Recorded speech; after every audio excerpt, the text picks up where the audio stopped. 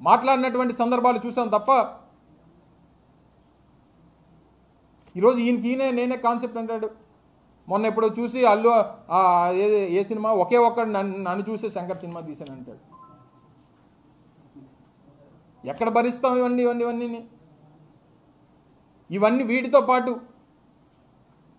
Ring road నాదే airport నాదే అన్నీ నావే నేను నేను మొదలుపెట్టినటువంటి ప్రాజెక్టులే రాజశేఖర రెడ్డి గారు పూర్తి చేసి ఉండకపోతే ఇవన్నీ జరిగేవా అని చెప్పని అంటాడు.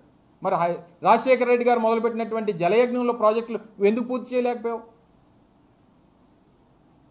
నువ్వు పద్నాలుగు సంవత్సరాలు ఈ రాష్ట్రానికి ముఖ్యమంత్రిగా ఉన్నటువంటి క్రమంలో ఉమ్మడి రాష్ట్రంలో కానీ ఇక్కడ కానీ నువ్వు పూర్తి చేసినటువంటి ఏకైక ప్రాజెక్టు నీ హెరిటేజ్ ప్రాజెక్ట్ మాత్రమే. నువ్వు పూర్తి చేయగలిగినటువంటి ప్రాజెక్టు విజయవంతంగా ఏదైనా ఉంటే నీ హెరిటేజ్ ప్రాజెక్ట్ తప్ప ఈ రాష్ట్రానికి నువ్వు చేసినటువంటిది ఏమీ లేదు.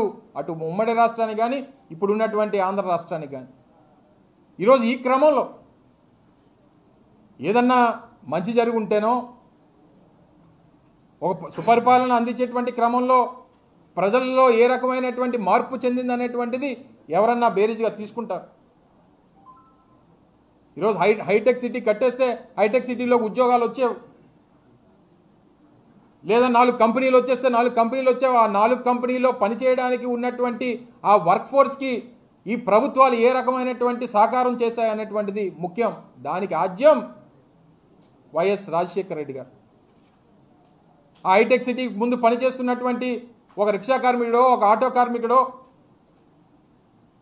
లేదా ఒక పేద కుటుంబానికి చెందినటువంటి ఒక వ్యక్తో నా పిల్లల్ని ఇంజనీర్లో డాక్టర్లో చదివించాలనేటువంటి ఆలోచన చేసేటువంటి సందర్భాలు ఉండే తప్ప చదివించుకునేటువంటి అవకాశాలు లేనటువంటి క్రమంలో ఆ పేద కుటుంబాలకు కూడా విద్యను అందించి